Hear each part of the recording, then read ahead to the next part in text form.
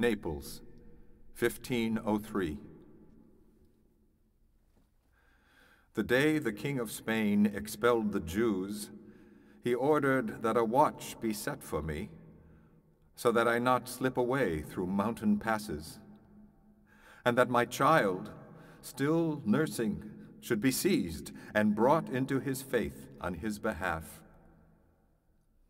A good man got word to me in time, a friend.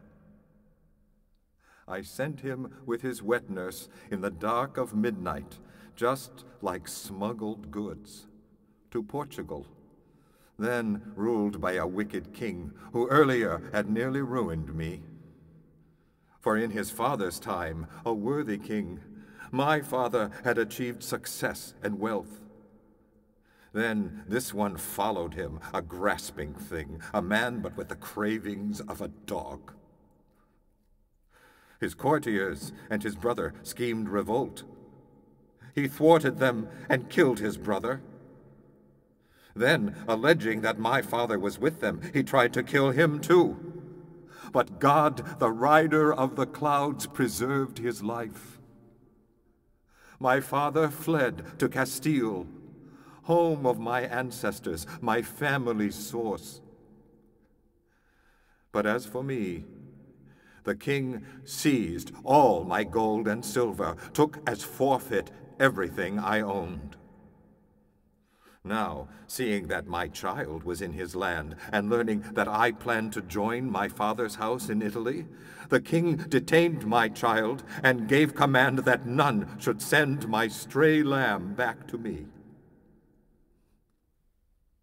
After he died, a foolish king arose, fanatical and hollow in the head, who violated all the house of Jacob, turned my noble people to his faith. Many killed themselves rather than transgress the law of God, our help in need. My darling boy was taken, and his good name, the name of the rock from which I was hewn, changed.